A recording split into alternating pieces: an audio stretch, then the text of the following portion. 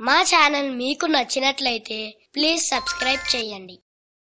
మరిన్ని వీడియోల కోసం పక్కనే ఉన్న బెల్ ఐకాన్ని ప్రెస్ చేయండి. హాయ్ పిల్లలు. ఈరోజు మనము కోడిపుంజు రాబందు కథ గురించి తెలుసుకుందాం.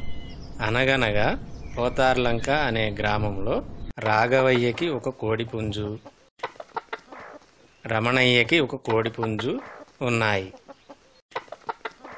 ఈ రెండు ఒక కోడి పెట్ట కోసం ఒకదానిపై ఒకటి పోట్లాడుకుని తలపడ్డాయి. ఓడిపోయిన కోడిపుంజు పారిపోయి ఒక పొదలో దాక్కుంది. గెలిచిన కోడిపుంజు గెలిచిన గర్వంతో ఒక ఇంటిపైకి ఎక్కి బిగ్గరగా కొక్కరకో కొక్కరకో అని అరవసాగింది. ఇంతలో ఆకాశంలో ఎగురుతున్న రాబందు కోడిపుంజు అరుపు విని కిందికి వచ్చి కోడిపుంజుని కాళ్ళతో పట్టుకుని ఎగరవేసుకుని పోయింది. అప్పుడు పొదలో దాగి ఉన్న కోడిపుంజు బయటకు వచ్చి కోడిపెట్టతో హాయిగా సహజీవనం సాగించింది. కథలోని నీతి.